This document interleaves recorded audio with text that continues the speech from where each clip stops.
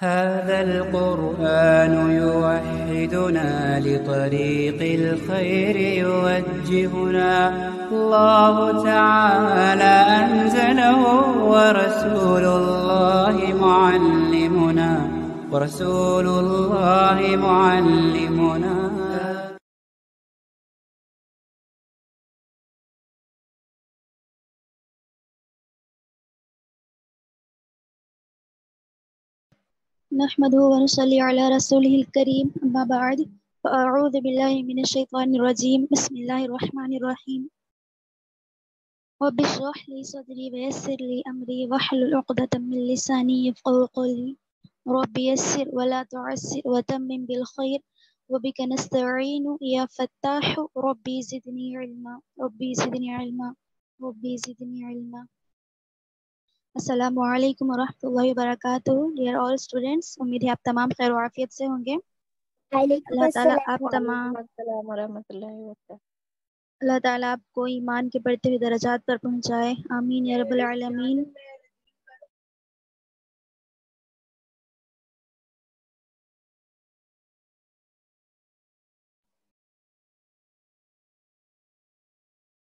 माशाल्लाह अल्हम्दुलिल्लाह। सब हाजिर है? अल्लाह ताला आप तमाम को इसी तरह, जैसे आज हाजिर हैं, इसी तरह, इसी जस्तजू से, इसी लगन से कुरान को सीखने की और दूसरों को सिखाने की तोफ़ी अता फरमाए। आमीन या तो देखिए डियर स्टूडेंट्स जो हमारा लास्ट वीक का लेसन था, हरूफ कमरी व हरूफ शमसी, उसके बाद लफ्ज़ अल्लाह का फ़ायदा अल्हम्दुलिल्लाह, बखैर आफियत से मुकम्मल हो चुका है। तो अब जो हमारा नेक्स्ट लेसन है, देखिए तख्ती नंबर सत्रह, वक्फ करने के कायदे। गौर से सुनिए। तख्ती नंबर सत्रह, बगैर वक्त को ज़ाय किए, मैं स्टार्ट कर दी हूँ। तख्ती नंबर सत्रह, वक्फ करने के कायदे। अब यह सुनिए कि वक्फ किसे कहते हैं। वक़फ़ा, ये एक अरबी वर्ड है। वक्फ के माने होते हैं ठहरना। वक्फ के माने होते हैं ठहरना। ठीक है? देखिए, यहाँ पर लिखा हुआ है, ऊपर की तख्ती है। वक्फ के माने ठहरना, यानी कुरान पाक पढ़ते पढ़ते किस तरह ठहरे? मतलब क्या? उठ के ठहरना नहीं होता जगह पे। पढ़ते पढ़ते आयत के बीच में कहाँ पर रुक कर रुक कर पढ़ना है और कहाँ पर नहीं रुके बगैर पढ़ना है, रुकना है तो किस तरीके से रुकना है? ठीक है? तो देखिए, यहाँ पर ऐसे गोल निशान को आयत कहते हैं। जो सर्कल वाला निशान होता होता ना, कुरान में आप देखिए हर आयत के आखिर में जहाँ पर आयत खत्म होती वहाँ पर देखिए यहाँ पर देखिए हर आयत के आखिर में इस तरह का एक सर्कल होता। इसको आयत कहते। क्या कहेंगे इसको? बोलिए सब। आयत। आयत आयत। जी ऐसे ऐसे गोल निशान को आयत कहते। तो यहाँ पर पहले जो लिखा हुआ है वो सुनिए गौर से। नंबर एक पॉइंट नंबर वन लिखा हुआ है जबर जेर पेश दो जेर दो पेश पर वक्फ करना हो तो आखिरी हर्फ पर जज्म देकर सांस तोड़े। इसको वक्फ करना कहते हैं। दो जबर पर वक्फ करना हो तो एक जबर के साथ अलिफ पढ़ा जाता है। ये पॉइंट नंबर टू था। तो पॉइंट नंबर वन जो है, उसके बारे में हम देखते हैं। क्या बता रहे हैं यहाँ पर? जबर, जेर, पेश। और दो जेर, दो पेश। दो जेर, दो पेश। दो जबर को अलग ही रखिए। दो जबर की बात हम बाद में करेंगे। पहले ये पाँच हरकत। जबर, जेर, पेश। दो जेर दो पेश, पर अगर वक्फ करना है। मतलब ये है कि आयत के आखिर हर्फ पर जबर है, जेर है, या पेश है, या दो जेर है, या दो पेश है तो हम वहाँ पर क्या करेंगे? आयत हो रही वहाँ पर, आखिर में रुकना है वहाँ पर तो क्या करेंगे हम? उस आखिरी हर्फ पर जज्म देकर वहाँ पर सांस को रोक देंगे। जैसे यहाँ पर देखिए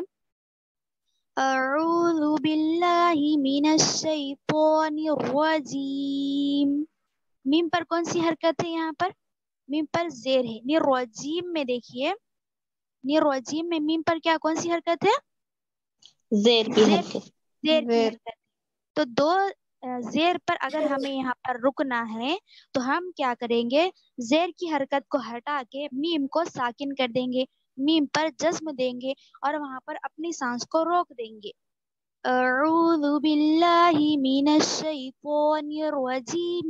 आगे आयत है, इसीलिए यहाँ पर मीम पर जज्म देकर यहाँ पर हम सांस को क्या करेंगे? तोड़ देंगे।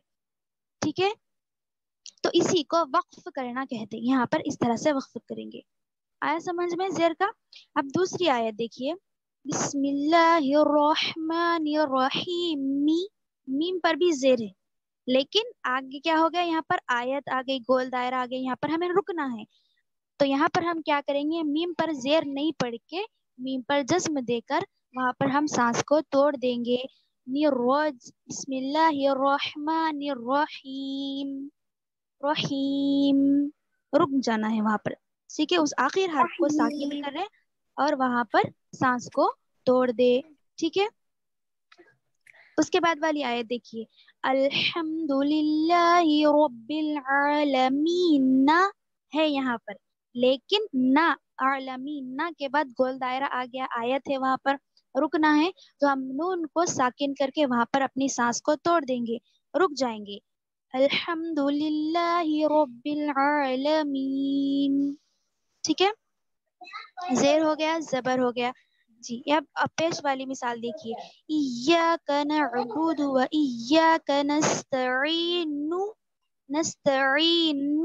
यहाँ पर देखिए, नून पर क्या है? पेश की हरकत है। लेकिन हमें यहाँ पर रुकना है, क्योंकि आगे गोल दायरा आ गया सर्कल आ गया। तो अब हम यहाँ पर कैसे पढ़ेंगे? नून को साकिन करके वहाँ पर सांस को तोड़ देंगे।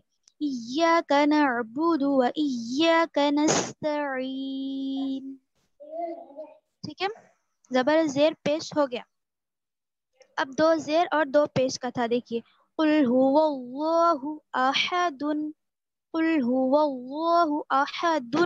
दाल पर क्या है? दो पेश है। दो पेश को तनवीन कहते और दो पेश के बाद भी यहाँ पर दायरा आ गया। आयत खत्म करना है वहाँ पर। तो यहाँ पर भी हम क्या करेंगे? दाल पर जज्म देकर सांस को तोड़ देंगे। यहाँ पर वक्फ करेंगे। रुकेंगे।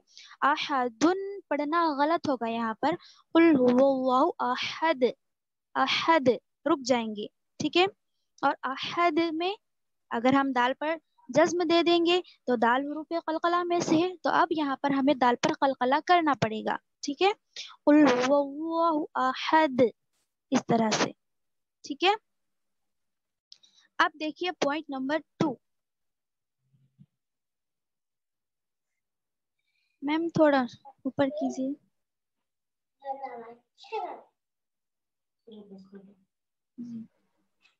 देखिए पॉइंट नंबर टू देखिए तो पॉइंट नंबर वन हो गया। जबर, जेर, पेश। दो जेर, दो पेश पर वक्फ करना हो।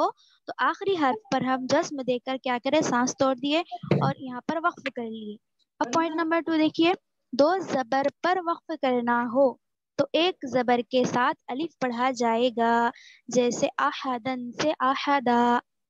पॉइंट नंबर टू ये बता रहे दो जबर पर वक्फ करना है, जैसे आहद, आहदन से आहदा, दो जबर आ गए, दो जबर पर वक्फ करना है तो हम वहाँ पर क्या करेंगे, एक जबर के साथ अलिफ पढ़ेंगे आहदन में जो दो जबर आए ना, दो जबर में से एक जबर को वैसे ही बाकी रखेंगे और जो दूसरा जबर है, उसको अलिफ के साथ पढ़ेंगे, उसको अलिफ बनाकर पढ़ेंगे।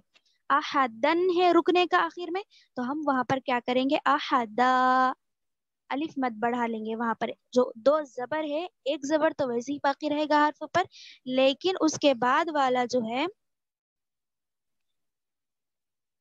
बस ये थोड़ा सा नीचे कीजिएगा। देखिए, यहाँ पर देखिए, इन्ना उसरी युस्रन देखिए, यहाँ पर रा पर क्या है? दो जबर है लेकिन हमें यहाँ पर वक्फ करना है, रुकना है तो इसको कैसे पढ़ेंगे? तो यहाँ पर जो दो जबर है युसरन के ऊपर जो दो जबर दिख रहे ना आपको तो दो जबर में से एक जबर को अलिफ के साथ बदल देंगे। आगे आयत है, रॉ अलिफ जबर रॉ कर कर पढ़ेंगे उसको। कहीं पर भी, कहीं पर भी दो जबर आ गया और दो जबर पर वक्फ करना है तो एक जबर तो वैसे ही बाकी रहेगा, दूसरा जबर अलिफ से बदल जाएगा। जैसे सूर्य नाजियात में देखिए वन्नाजियात गौरकन था गौरकन कौफ दो जबर कन था लेकिन हम उसको कैसे पढ़ेंगे वन्नाजियात गौरक कौफ पर एक जबर बाकी रहेगा और दूसरे जबर को हम अलिफ से बदल देंगे वन्ना शिपोती नस्तो इस तरह से आया समझ में दो जबर पर वक्फ करने का जी बाजी जी जी तो पॉइंट नंबर थ्री देखिए। पॉइंट नंबर थ्री देखिए, लिखा हुआ है, गोल ता पर वक्फ करना हो तो वो हाय साकिना बन जाती है। जैसे जारियतुन से जारिया। ता, तख्ती नंबर दो में मुरक्कबात में हम लोग पढ़ते थे, ता की किस्में वहाँ पर लिखी, ता अलग अलग तीन शक्लों में लिखा हुआ होता ता एक होती लंबी ता और एक होती गोल ता। ठीक है? एक होती लंबी ता और एक होती गोल ता इस तरह से।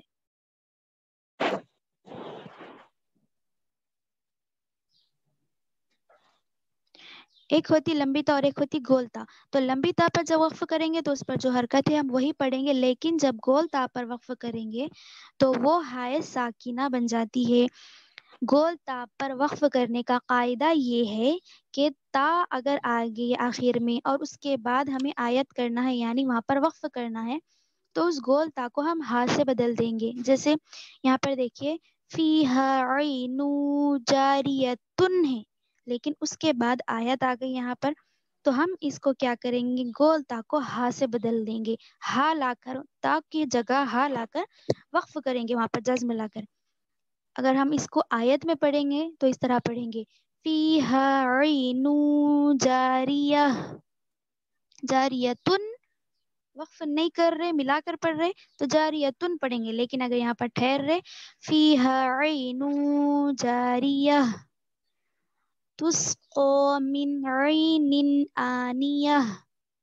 ये कायदा याद रखिए, गोल ताप पर जब वक्फ करेंगे तो वो हाय साकिना बन जाती है। ला इस तरह से। ठीक है? बहुत इजी है तख्ती नंबर सेवनटीन तो सत्रह जो वक्फ करने के कवायद है। इसमें सिर्फ़ थ्री पॉइंट्स बताए। पहला तो है कि ज़बर जेर पेश, दो जेर, दो पेश पर वक्फ करना हो। तो आखिर हर्फ पर जज्म देकर सांस तोड़ दे। दो ज़बर पर वक्फ करना है तो एक ज़बर के साथ अलिफ पढ़ा जाएगा। यानी तनवीन का जो दो ज़बर होगा, उसमें से एक ज़बर को तो बाकी रखा जाएगा और दूसरे ज़बर को अलिफ के साथ बदल कर पढ़ा जाएगा। युसरन की जगह युसरा इस तरह से। अहदन की जगह अहदा।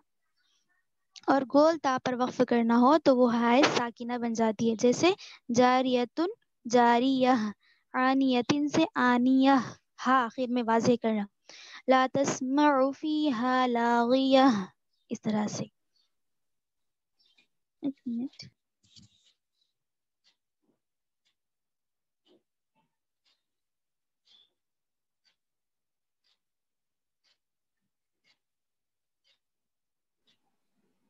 नीचे करूँ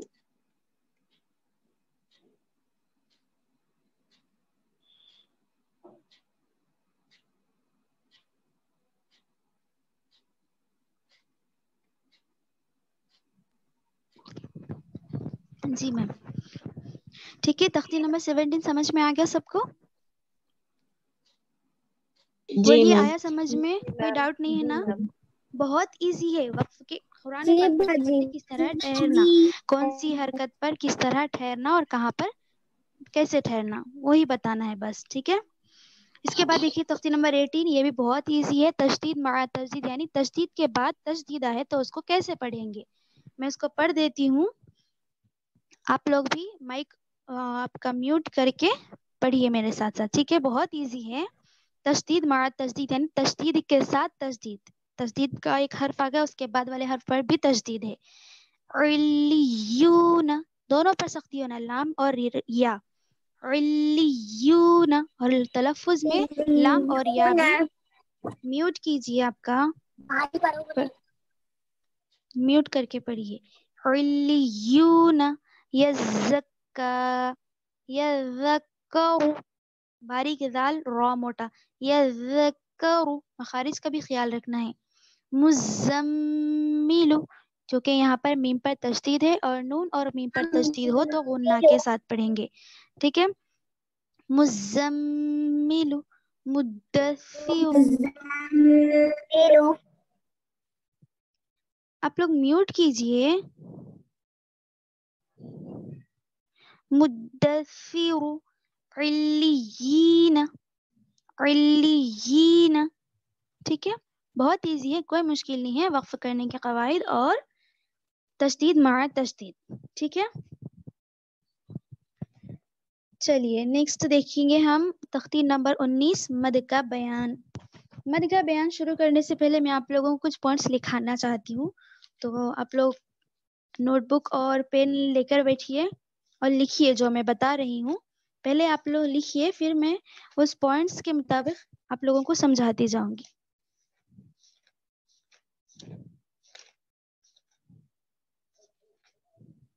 चलिए, लिखिए। मद की तीन किस्में बयान की गई हैं।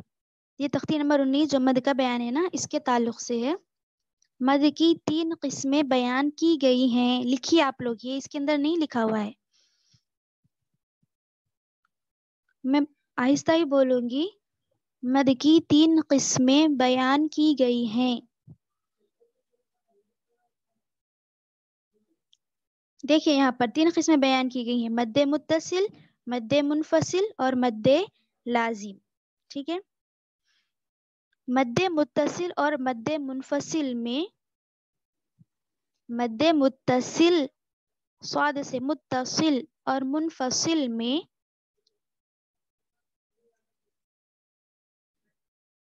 दो अलिफ से चार अलिफ तक मद होता है। दो अलिफ से चार अलिफ तक मद होता है। जी पहले से बोलते ना। मद की दो किस्में ये वीडियो कौन ऑन रखे? वीडियो ऑफ़ कीजिए अपना।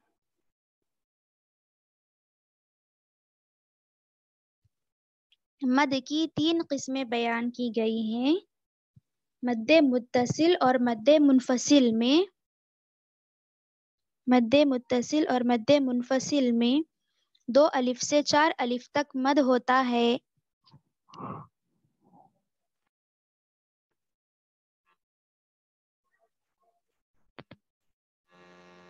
बाजी मध्य मुत्तसिल।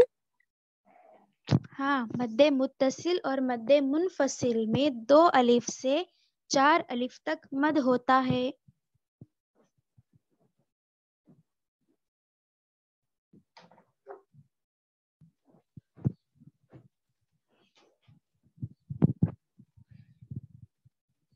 जिसको तवस्सुत कहते हैं। जिसको तवसुत कहते हैं।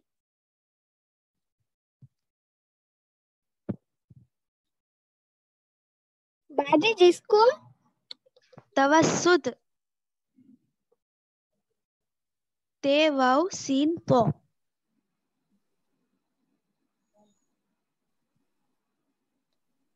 जिसको तवस्सुत कहते हैं। और तीसरी किस्म मद्दे लाजिम है। और तीसरी किस्म मद्दे लाजिम है।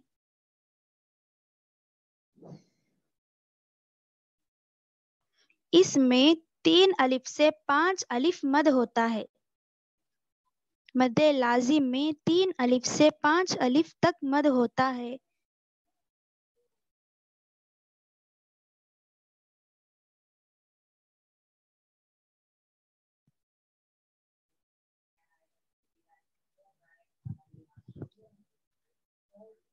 मध्य लाजिम में तीन अलिफ से पाँच अलिफ तक मद होता है, जिसको तूल कहते हैं।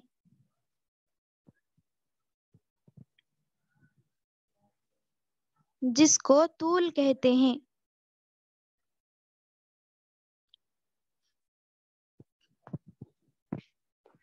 पाँच अलिफी तूल, पाँच अलिफी, यानी पाँच अलिफ के बराबर खींचना। पाँच अलिफी तूल बेहतर है। मद की तीन किस्में बयान की गई हैं मद मुत्तसिल और मद मुनफसिल में। दो अलिफ से चार अलिफ तक मद होता है, जिसको तवस्सुत कहते हैं। और तीसरी किस्म मद लाजिम है। मद लाजिम में तीन अलिफ से पाँच अलिफ मद होता है, जिसको तूल कहते हैं। और पाँच अलिफी तूल बेहतर है।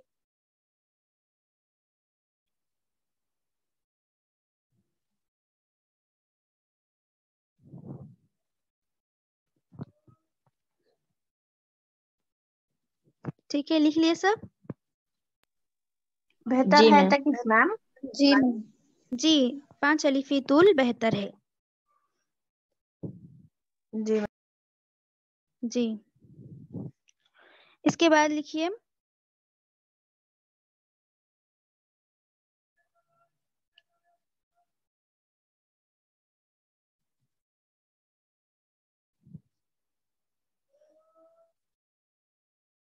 मद्द आरिज वक्फी एक हेडिंग बनाइए ऊपर।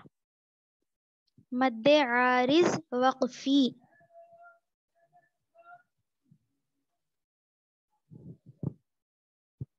मद्द आरिज वक्फी मैं जो आप लोगों को नोट्स लिखा रही हूँ ना, ये आपको नूरानी कैदे के अंदर, तख्ती नंबर 19 की जो हिदायत है ना, उसके अंदर आप लोगों को मिल जाएगी। इजी ठीक है। एक मिनट रुकिए।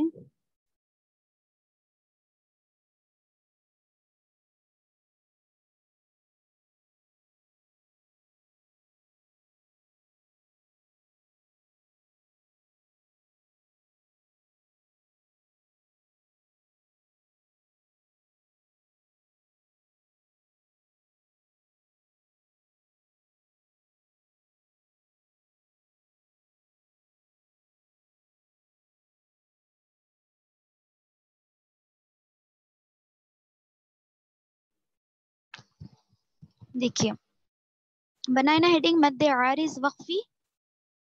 जी मैम। जी आप लिखिए। हरफ मद के बाद वहाँ पर लिखिए हरफ मद के बाद सुकून वक्फ की वजह से हो।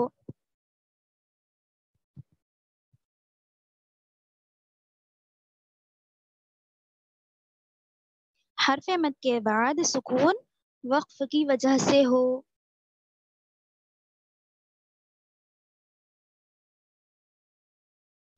जैसे हरफे मद के बाद सुकून वक्फ की वजह से हो, जैसे तुकज़िबान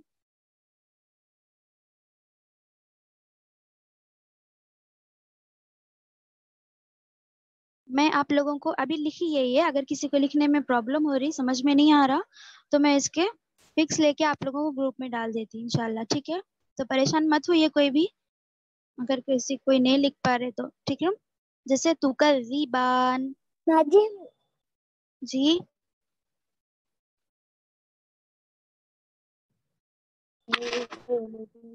बाजी हम बोलिए। जी इंशाल्लाह मैं ग्रुप में डाल देती हूँ। परेशान मत आप लोग जैसे तुकज़िबान लिखे ना सब। यअलमून उसी के बाद लिखिए। यअलमून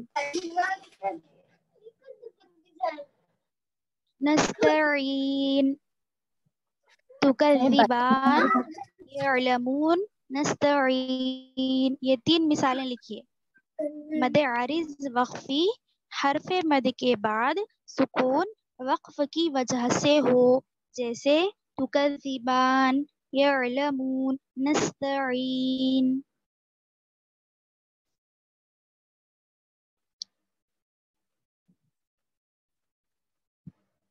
ठीक है? यहाँ तीन अलीफी तूल बेहतर है।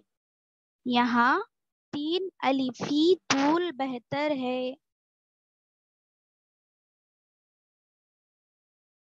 यहाँ तीन अलीफी तूल बेहतर है।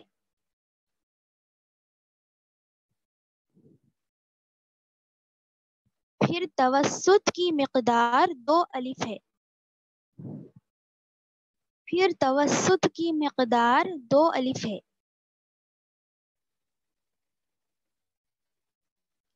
मद्द आरिज वक्फी, हरफ मद के बाद सुकून वक्फ की वजह से हो, जैसे तुकज़िबान यअलमून नस्तईन यहाँ तीन अलिफी तूल बेहतर है। फिर तवस्सुत की मकदार फिर तवसुत की मकदार दो अलिफ है। ठीक है? इसके बाद हेडिंग बनाइए। मद लीन आरिज वक्फी। पहले मद आरिज वक्फी बनाए थे ना? अब मद लीन आरिज वक्फी। मद लीन आरिज वक्फी। हरफ लीन के बाद सुकून वक्फ की वजह से हो। ऊपर हरफ मद के बाद सुकून वक्फ की वजह से हो, बोले थे हम। अभी यहाँ पर बोल रहे हैं कि हरफ लीन के बाद सुकून वक्फ की वजह से हो। हरफ लीन के बाद सुकून वक्फ की वजह से हो। जैसे खौफ खौ फा, खौफ, वस्सैफ वाव स्वाद जबर स्वाद या जबर सई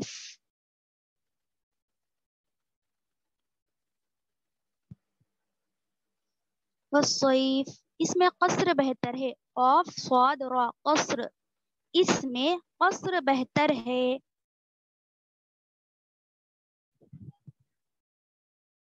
फिर तवसुत दो अलीफी। फिर तवसुत दो अलीफी।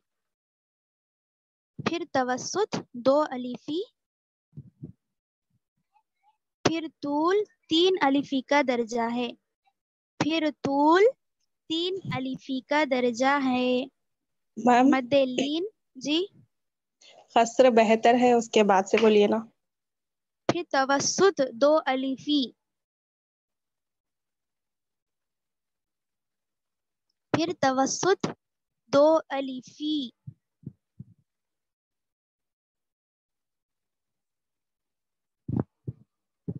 दो अलीफी फिर तूल तीन अलीफी का दर्जा है। फिर तूल तीन अलीफी का दर्जा है।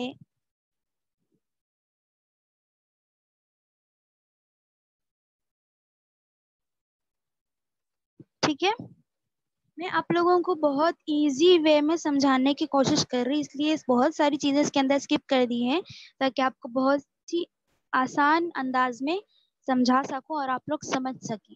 ठीक है? इतना तो लिख लिए ना सब? जी मैम अगर कोई नहीं भी लिखे कोई नहीं भी लिखे तो परेशान मत होइए। मैं इसको ग्रुप में डाल देती हूँ ठीक है? ठीक और वैसे भी हर नूरानी कायदे में आपको ये मिल जाएगा आसानी से मिल जाएगा। देखिए। एक मिनट।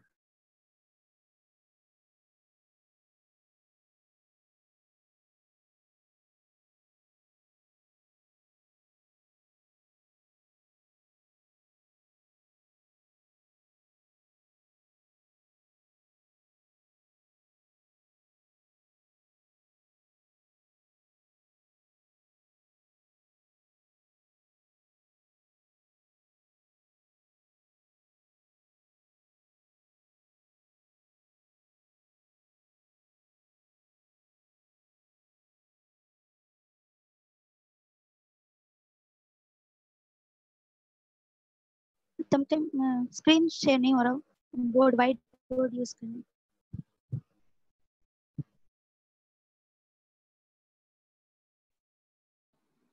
व्हाइट बोर्ड यूज़ करना चाह रहे हैं? जी।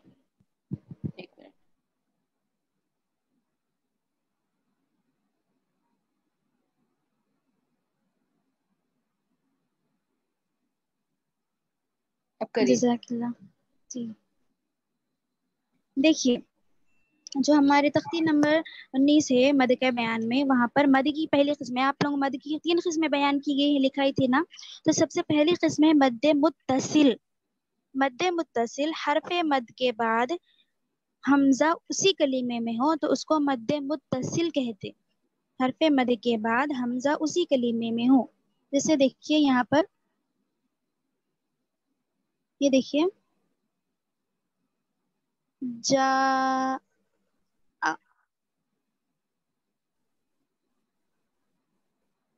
ठीक है, यहाँ पर देखिए, जा और मद्दे मुतसिल की पहली और दूसरी किस्म में मैं आपको लिखाई थी कि तीन अलीफी तुल बेहतर है वहाँ पर। तीन अलीफी तुल का मतलब ये है कि हम यहाँ पर इस मद को तीन अलिफ के बराबर खींच कर पढ़ेंगे। जैसे खींचने की मकदार तीन अलिफ की, अब मुट्ठी को बंद कीजिए और अपनी एक एक फिंगर को खोलते जाइए इस तरह से। जा जैसे हम से हरफी वाले हरूफ को खींचे थे ना, हरूफ हिजा में।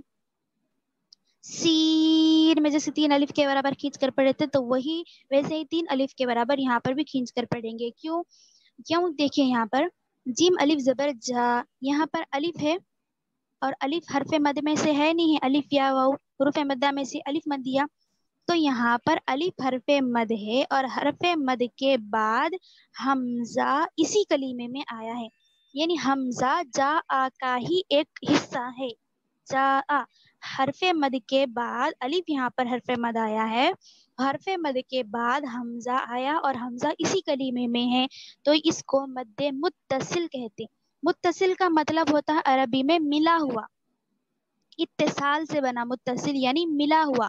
हरफ मद के बाद हमजा इसी के साथ मिला हुआ है, इसी कलीमे में मिला हुआ है।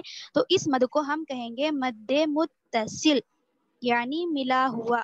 इस मद को हम क्या कहेंगे? मद मुत्तसिल। हरफ मद के बाद हमजा उसी कलीमे में आए तो मद मुतसिल होगा और यहाँ पर तीन अलिफ के बराबर खींच कर पढ़ेंगे। तीन अलीफी तूल होगा यहाँ पर। ठीक है? जा जा तीन अलिफ के बराबर। तीन उंगलियों को खोलने की मकदार तक खींच कर पढ़ेंगे। जा इस तरह से। ठीक है? इसके बाद देखिए नेक्स्ट मिसाल है। मिसाल में इसको समझाती हूँ मैं। सीअत सी या सी हमजा ता जबर अद। देखिए, सी में देखिए, ये जो है, सीन के बाद या है या है यहाँ पर, सीन या जेर, सी और या हरफ मद में से है, अलिफ या वाव में से, या जिस पर जज्म हो और उससे पहले जेर हो, थोड़ा खींचे और मारूफ पढ़े, या मद दिया है तो यहाँ पर भी या जो है वो हरफ मद है। या क्या है यहाँ पर? हरफ मद है। और हरफ मद के बाद देखिए, हमजा आया है। इसी कलीमे में आया। सी अत में बीच में ही आया। यानी कि हमजा सी अत के साथ मुतसिल है। हरफ मद के साथ हमजा मुत्तसिल यानी मिला हुआ, जुड़ा हुआ आया। तो इस मद को हम मद मुत्तसिल कहेंगे। मद मुत्तसिल कहेंगे। और यहाँ पर भी हम इसको तीन अलिफ के बराबर खींच कर पढ़ेंगे। सी इस तरह से। ठीक है? इसके बाद की देखिए मिसाल जो है, सू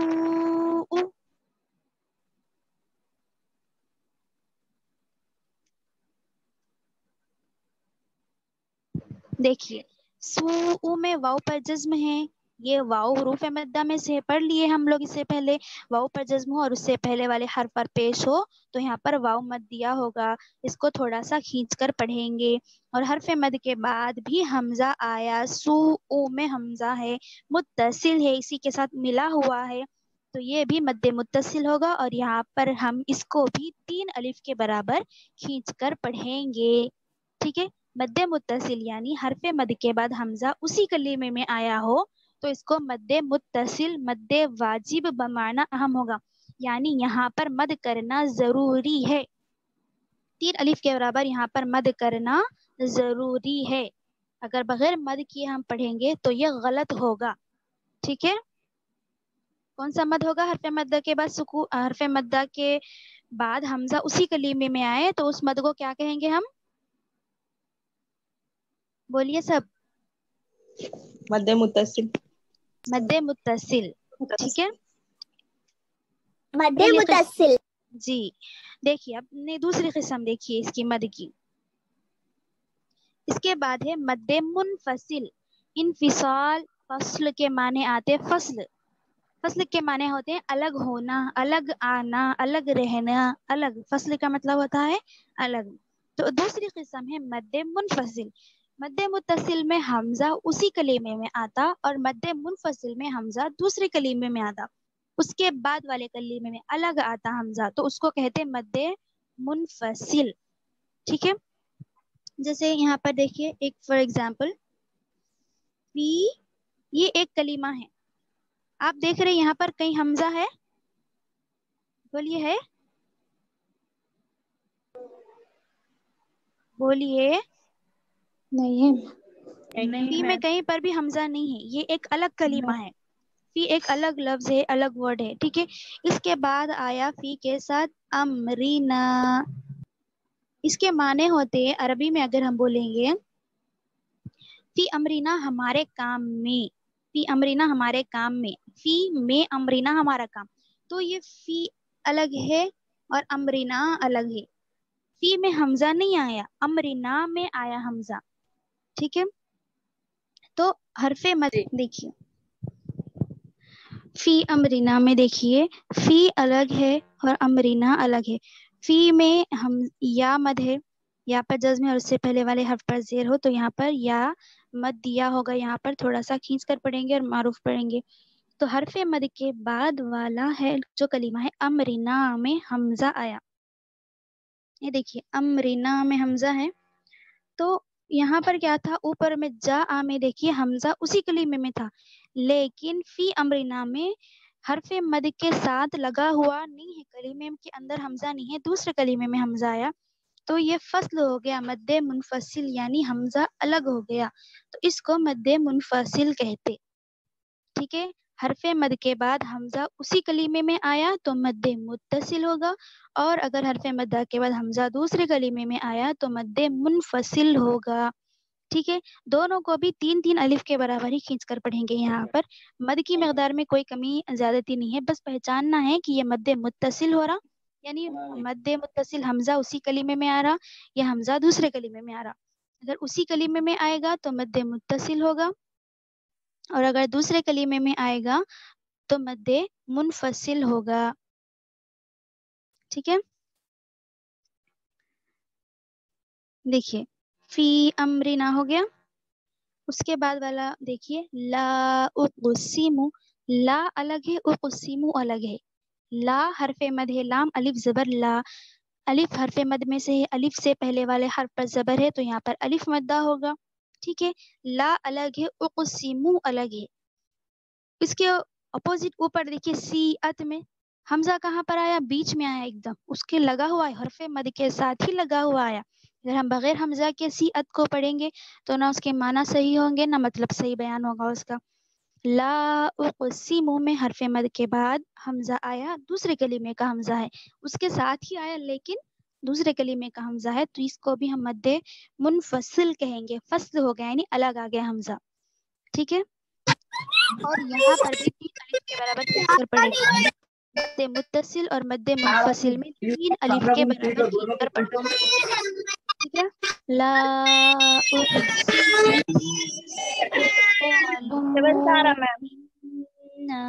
जी?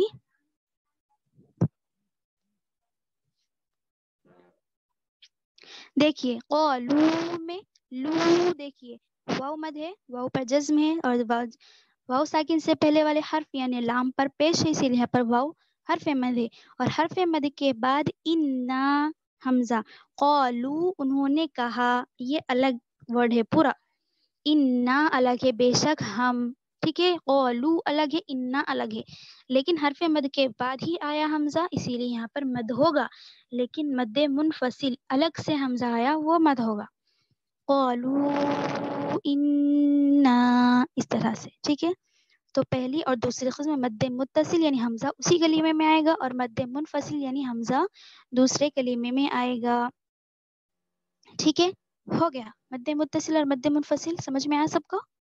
बहुत इजी है कुछ भी मुश्किल नहीं है। अगर मद्द मैम? हम जी बोलिए।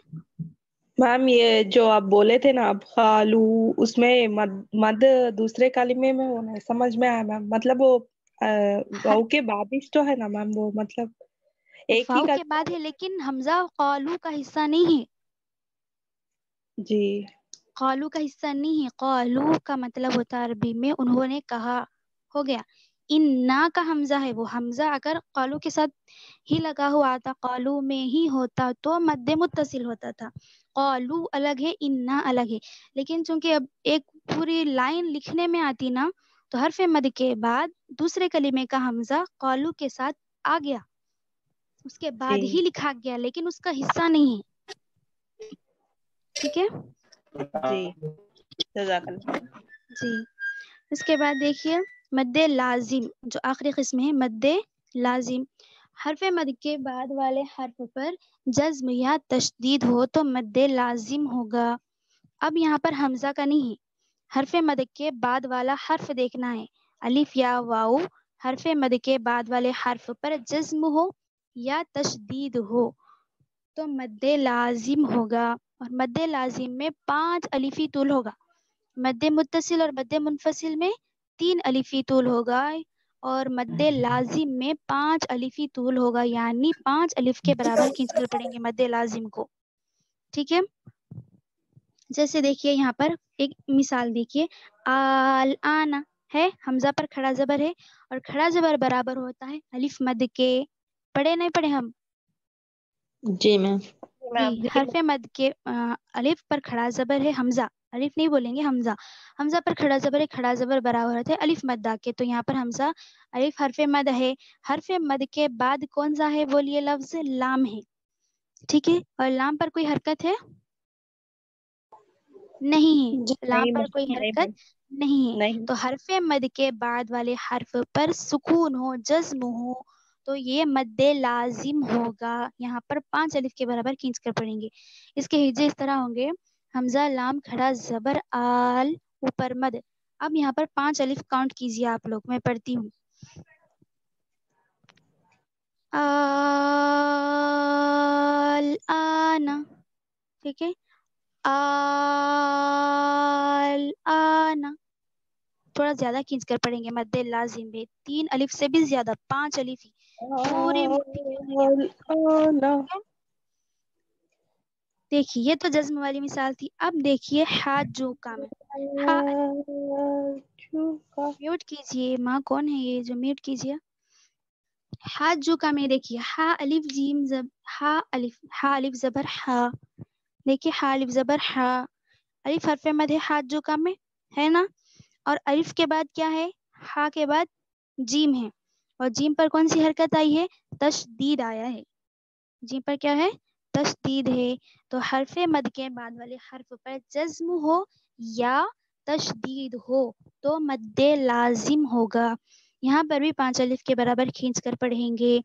हिजे इसके देखिए। हा अलिफ, जीम, जबर, हाज, ऊपर मद, हाज, जीम, वो पेश, जू, हाजू, काफ, जबर का हाजू का हाजू का ठीक है?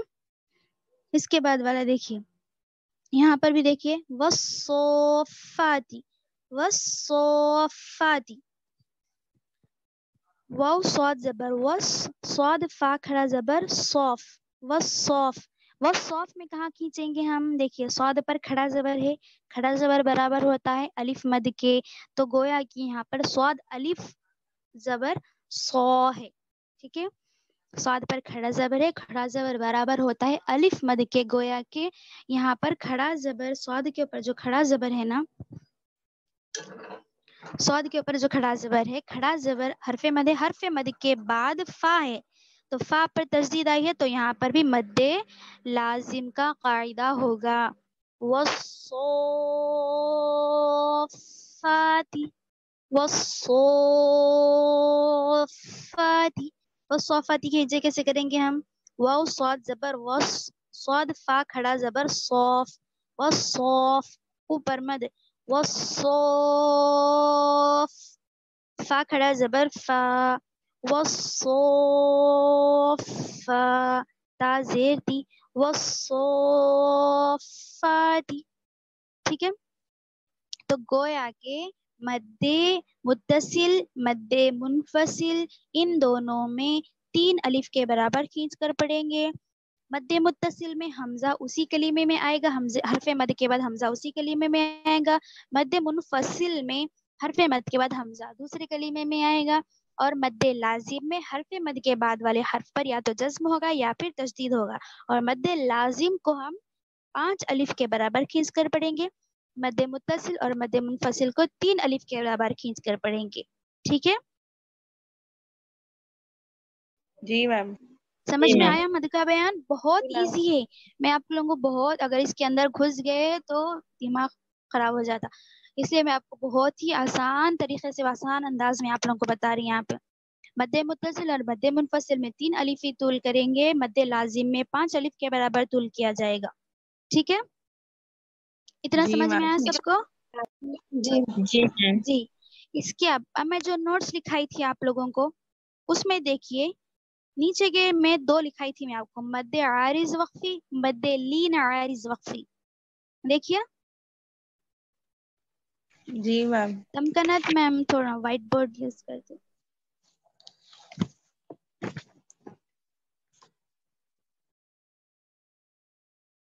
देखिए मद्द आरिज वक्फी मद्द आरिज एक इसके अलावा ये तो मद की किस्में थी मद्द मुत्तसिल मद्द मुनफसिल और मद्द लाजिम ठीक है इनके अलावा दो और मद की किस्में हैं मद्द आरिज वक्फी मद्द लीन आरिज वक्फी। जैसे मैं अभी आप लोगों को वक्फ का बयान पढ़ाई याद है? हम्म? जबर जेर पेश दो जेर दो पेश जी, पर वक्फ करना हो तो आखिरी हर्फ पर जज्म देकर सांस तोड़े। पढ़े नहीं पढ़े हम? यहाँ पर मिसाल देखिए यहाँ पर। तुकज़िबान फॉर एग्ज़ाम्पल लिखाई थी मैं आपको। जी। तुकज़िबान मैम ये नूरानी खादे में आइडिया क्या मैम हिदायत के अंदर है। अच्छा अच्छा ठीक है। देखिए तुकज़िबानी है आगे क्या है? गोल दायरा आ गया यहाँ पर आयत है ठीक है? वक्फ करना है हम लोगों को यहाँ पर रुकना है। लेकिन देखिए वक्फ कब हो रहा? हरफे मद के बाद हो रहा। बा अलिफ जबर बा दिख रहा है यहाँ पर? बा अलिफ जबर बा। अलिफ अलिफ से पहले हवाले हर पर जबर हो तो यहाँ पर अलिफ हरफे मद है। तुकज़िबान नून पे जेर की हरकत है, लेकिन हम यहाँ पर चूँकि आयत आ गई आखिर में, हमें यहाँ पर रुकना है, वक्फ करना है, इसीलिए हम नून पर क्या कर रहे जज्म देकर सांस तोड़ दे रहे वक्फ कर रहे लेकिन वक्फ किसके बाद आया? हरफे मद के बाद आया। तो अगर हरफे मद के बाद सुकून आ रहा, आखिरी हरफ पर जज्म आ रहा, किसकी वजह से? वक्फ करने की वजह से, आयत करने की वजह से तो यहाँ पर इस हरफे मद को भी हम तीन अलिफ के बराबर खींच कर पढ़ेंगे। वरना तो नॉर्मल जो हरफ मद होता, अलिफ या वाउ, उसको सिर्फ़ एक अलिफ के बराबर खींच कर पढ़ते। लेकिन यहाँ पर हरफ मद के बाद सुकून वक्फ करने की वजह से आ रहा है। तो अब हम इस हरफ मद को तीन अलिफ के बराबर खींच कर पढ़ेंगे। मद आरिज वक्फी। यानी हरफ मद के बाद सुकून वक्फ की वजह से आ रहा है। तो इसको हम कहेंगे मद आरिज वक्फी और इस मद को भी तीन अलिफ के बराबर खींच कर पढ़ेंगे। ठीक है? समझ में आया? मद आरिज वक्फी किसे कहते हैं? हरफ मद के बाद, हरफ मद के बाद जो नून पर सुकून आ रहा है, वो वक्फ करने की वजह से आ रहा। इसीलिए यहाँ पर इसको भी तीन अलिफ के बराबर खींच कर पढ़ेंगे, वरना तो नॉर्मल जो हरफ मद होता, वो सिर्फ़ एक अलिफ के बराबर खींच कर पढ़ा जाता। जबर अलिफ या वाउ लेकिन हरफ मद के बाद सुकून आ रहा और वो भी वक्फ करने की वजह से। तो यहाँ पर तीन अलिफ के बराबर खींच कर पढ़ेंगे मद आरिस वक्फी। ठीक है? आया समझ में? एक और मिसाल देखते हैं। यअलमून देखिए. यअलमून यअलमून ना था असल में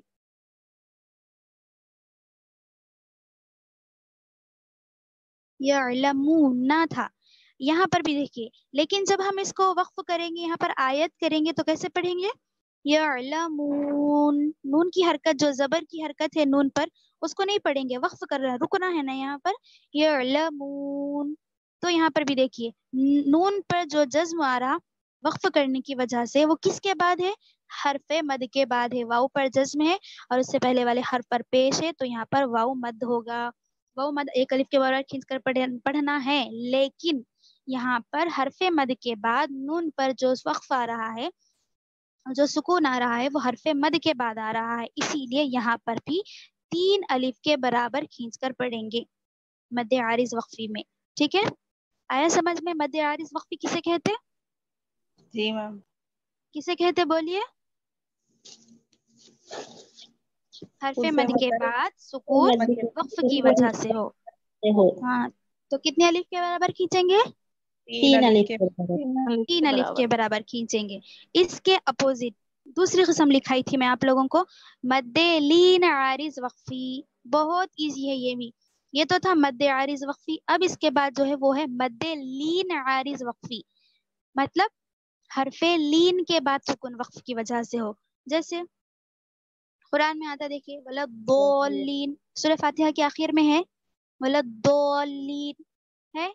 सॉरी सॉरी वला दोलीन नहीं। खौफ। खौफ। ये खौफ असल में खौफिन था। क्या था? खौफिन। हरफेलिन कितने हैं? शहाना आप बोलिए। हरफेलिन कितने हैं? हुरूफ लीन जैसे हरूफ मद्दा तीन थे अलिफ या वाव। हुरूफ लीन कितने हैं? मैम मैं बोलो दो है। दो है वाव और या। या। या। जी वाव और या हुरूफ लीन है। हुरूफ लीन वाव साकिन से पहले क्या हो? जबर हो। जबर। तो उसको क्या कहते हैं? हुरूफे लीन का फ़ायदा होगा। यहाँ पर वाव हरफे लीन है और उससे पहले खा पर क्या है? जबर है। और उसके बाद फा पर जो है दो जेर पर वक्फ कर रहे हैं तो हम इस पर यहाँ पर जिसमें देकर पढ़ेंगे, खौफ, खौफिन नहीं पढ़ेंगे, क्योंकि आयत आगे आखिर में गोल दायरा है, यहाँ पर हमें वक्फ करना है, रुकना है तो खौफ पढ़ेंगे हम यहाँ पर। लेकिन हरफे लीन के बाद सुकून किस वजह से आ रहा, वक्फ की वजह से आ रहा तो यहाँ पर भी क्या करेंगे हम, तीन अलिफ के बराबर खींच कर पढ़ना है, लेकिन कसर करना बेहतर है, खौफ नहीं करेंगे यहाँ पर। मध्य आरि मध्य लीन आरिज वक्फी का कायदा है। कर सकते अगर यहाँ पर भी खींचना चाहे खींच सकते लेकिन हरफे लीन का कायदे में जब हम पढ़े थे क्या पढ़े थे? हरफे लीन आवाज़ मारूफ और नरमी से जल्द अदा की जाएगी। मद कर सकते यहाँ पर सकते। लेकिन नहीं करना है। इसमें कसर बेहतर है। कसर का मतलब ये कमी करना। खौफ खौफ जल्दी भी ऐसा भी नहीं पढ़ना। खौफ सैफ इतना जल्दी भी नहीं पढ़ना, नरमी से। कसर बेहतर है, लेकिन कम से कम दो अलिफ के बराबर। खौफ। दो फिंगर्स खोलने तक। खौफ। लंबा भी तीन अलिफ के बराबर नहीं कीजिए ना खौफ करेंगे तो सुनने में भी अच्छा नहीं मालूम होता। दो अलिफी तुल औसत। ठीक है? औसत दर्जा कितना है? तवसुत दो अलिफी है, यानी दो अलिफ के बराबर इसको यहाँ पर मद करेंगे। खौफ। इस तरह से। ठीक है?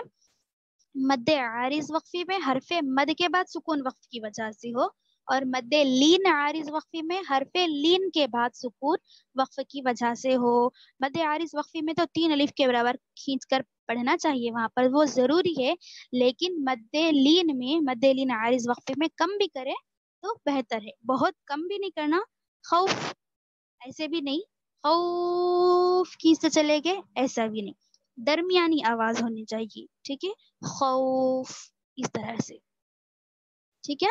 समझ में आया आज का लेसन आप लोगों को? जी मैम। जी आया ना? जी। जी मैम। तो देखिए मैं आप लोगों को अभी कोई होमवर्क नहीं देती। कल हमारी क्लास होगी ना? तो कल हमारी क्लास में मैं आप लोगों का ये रिवीजन ये जो है ना अभी हम जो पढ़े तख्ती नंबर सत्रह से ठीक है? तख्ती नंबर सत्रह से वक्फ करने के कवायद से लेकर हरूफ मद के बयान तक। ये सब का one by one by one सबका सुनूँगी मैं ठीक है? सबका सुनूँगी कवायद के साथ और फिर उसके बाद होमवर्क दूँगी आप लोगों को ठीक है? तो अभी आप लोगों के पास नुरानी कायदे है तो खोल लीजिए मैं पढ़ती हूँ यहाँ पर कवायद बताते हुए। मैं अभी आपको कवायद बताऊँगी क्यों रुक रहे कैसा रुक रहे और कहाँ पर खींचना है, कहाँ नहीं खींचना है, मैं अभी जो आप लोगों को बताऊँगी, थोड़ा टाइम ज़्यादा हो गया, कोई बात नहीं, पाँच मिनट में हो जाता। कल आप लोग मुझे बताएँगे, अगर मैं कवायद आपको पूछूँगी तो ठीक है? देखिए, तख्ती नंबर सत्रह।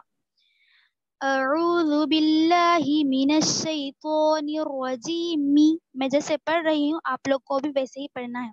आगे आयत, मीम पर जज्म, हर आयत को दो बार पढ़ेंगे।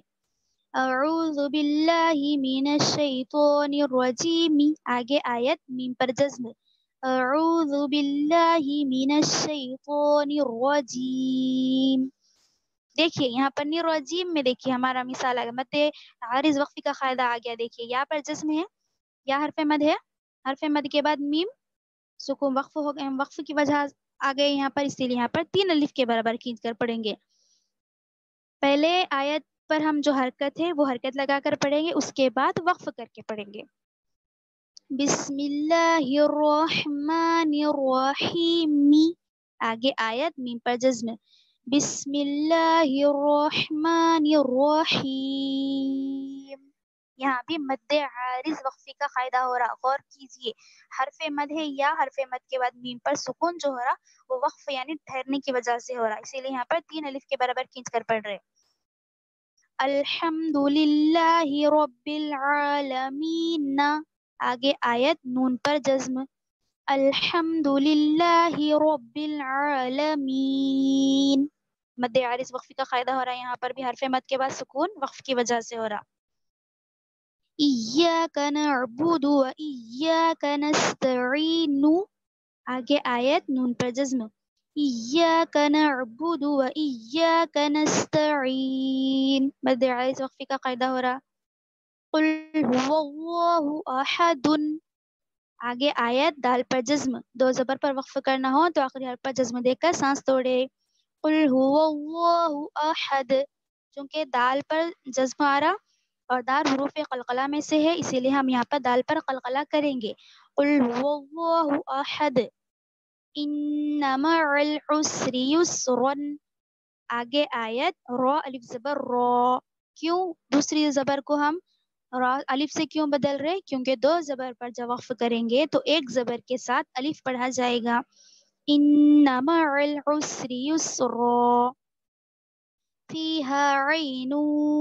जारियतुन में इख्फा का कायदा हो रहा नून पर तनवीन है। तनवीन के बाद हरूफ इख्फा में से जीम आया है, इसीलिए यहाँ पर नून की आवाज़ को नाक में छुपा कर पढ़ेंगे।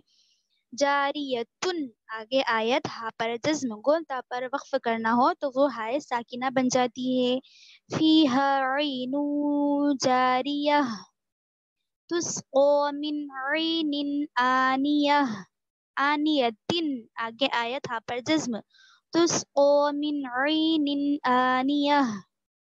ला तस्मउ फीहा आगे आया था पर जज्म ला तस्मउ फीहा ठीक है? अंदाज से मैं अभी पढ़ रही हूँ, आप लोगों को भी उसी अंदाज से सुनाना है हर आयत को दो मरतबा, एक मरतबा हरकत के साथ और दूसरी मरतबा वक्फ करके, उसके ऊपर। देखिए, तख्ती नंबर तशदीद, हरफ तशदीद के बाद वाले हर्फ पर तशदीद, यानी दो तशदीद वाले हर्फ एक जगह। यज़क्का यज़क्करु मुज़म्मिलु मुद्दस्सिरु इल्लियीन इल्लियीन ठीक है मद का बयान मद मुत्तसिल जा सबके हिज्जे कर रही हूँ मैं गौर से सुनिए आपको इसी तरह पढ़ना है जीम अलिफ जबर जा ऊपर मद जा मद मुत्तसिल में तीन अलिफ के बराबर खींच कर पढ़ेंगे। जा जबर आ। जा, आ, सी सू ठीक है? मद मुनफसिल, हरफ मद के बाद हमजा दूसरे कलीमे में आया तो यहाँ पर भी तीन अलिफ के बार बार खींचेंगे। फ़ी, अमरिना।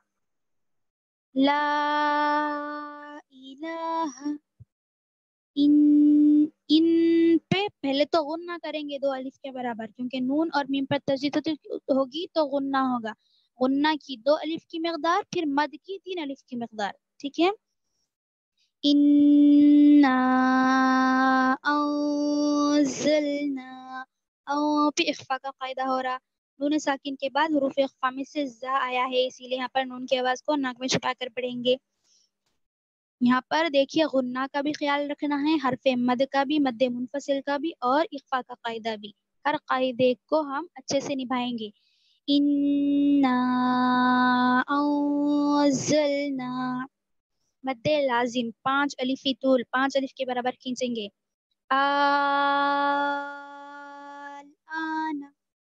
इसके हिजे कैसे होंगे? हमजा लाम खड़ा, जबर आल, ऊपर मद आल।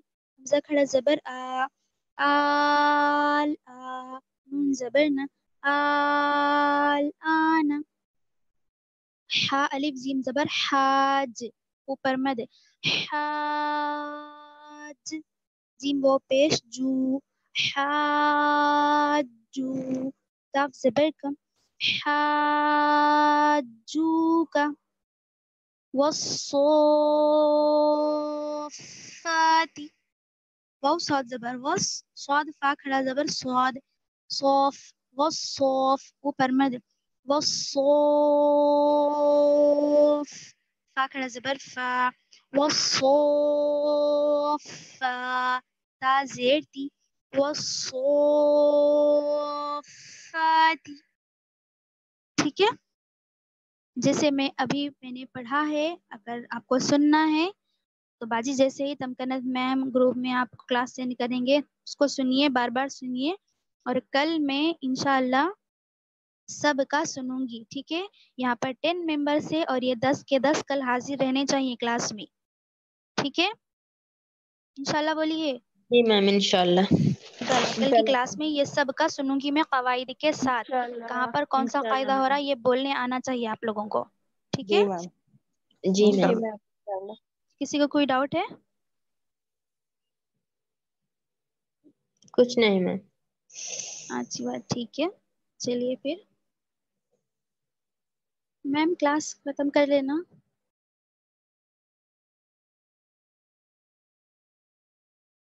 तमकनत मैम।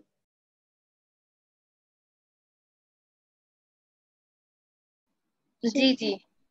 बिल्कुल। जी जी। इंशाल्लाह कल सेम टाइम पे क्लास होगी और पूरा रिवीजन होगा सबका, ठीक है? उसके बाद ही होमवर्क होगा। चलिए दुआ पढ़ लीजिए। व बिहम्दिही सुब्हानकल्लाहुम्मा व बिहम्दिका व नशहदु अल्ला इलाहा इल्ला अंता, नस्तगफिरुका व नतूबु इलैक। सुब्हान रब्बिका रब्बिल इज्जति अम्मा यसिफून, व सलामुन अलल मुरसलीन, वल्हम्दुलिल्लाहि रब्बिल आलमीन। बिरहमतिका या अरहमर राहिमीन। अस्सलामु अलैकुम व